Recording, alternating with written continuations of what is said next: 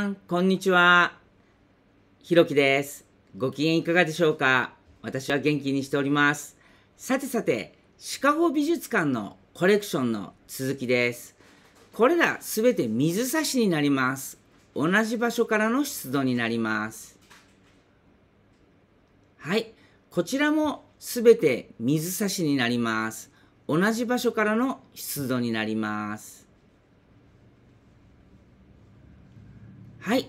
こちらもすべて水差しになります。すべて同じ場所からの出土になります。はい。こちらもすべて水差しになります。すべて同じ場所からの出土になります。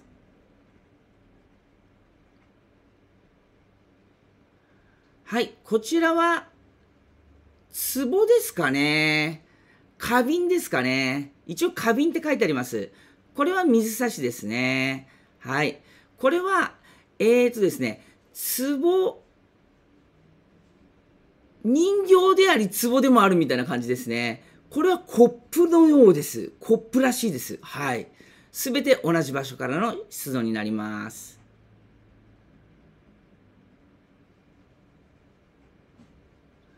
はい。こちらすべて水差しになります。同じ場所からの出土になります。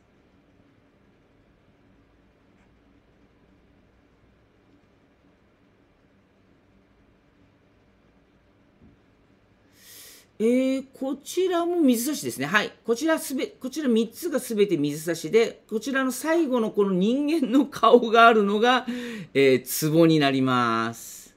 面白い形してますね。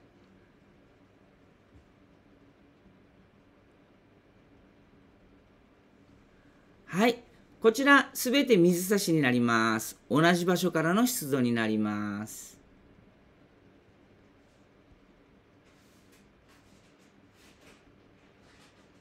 はい。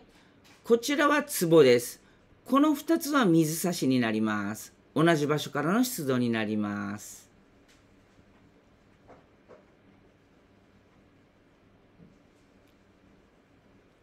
はい。こちらもすべて水差しになります。同じ場所からの出土になります。本当に面白いものが多いですね。面白い形がね。あとはスタンダードなものと。大きく2つに分かれますね。はい。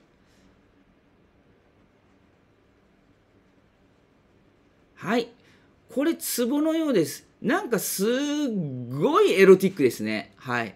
はい。こちら水差し。こちら水差し。こちらは人形になります。座っている戦士の像になります。はい。えー、っと、これとこれとこれは今までと同じ場所。これだけ違う場所からのものになります。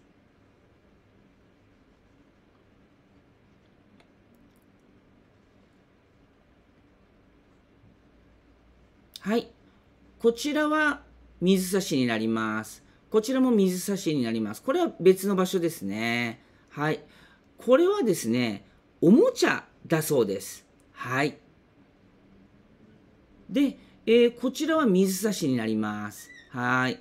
こちら場所が書いていませんね。こちらは。こちらはコリマと呼んでいいんでしょうね。はい。からの出土になります。こちらとこちらは今までと同じ場所からのものになります。